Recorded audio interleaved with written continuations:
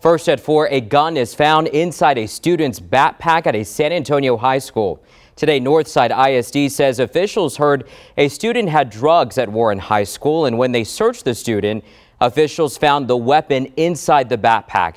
NISD says no threat was made towards campus or students, and disciplinary and criminal action will be taken.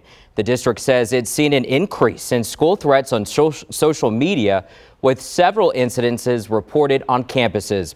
And that is actually the same over at Northeast ISD. The district there saying there have been threatening statements and images targeted towards classmates.